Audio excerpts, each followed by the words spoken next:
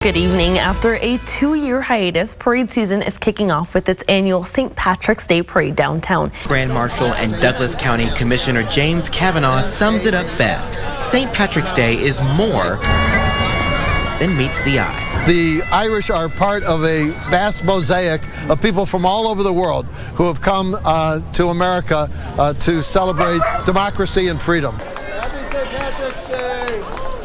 Happy St. Patrick's Day! And parades aren't the only celebrations happening in Omaha today. An award ceremony also took place. It honored Omaha Douglas County Irish American public officials.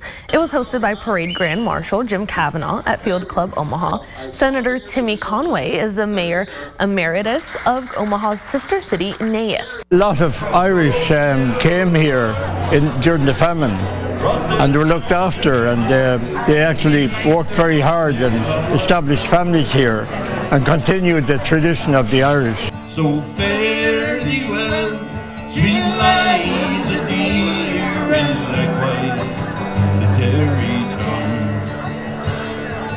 tongue. We remember our own. Um, my grandmother was famous for saying, you don't know who you are or where you're going unless you know who you were and where you're from. And so we intentionally, self-consciously, remember who we were and where we're from.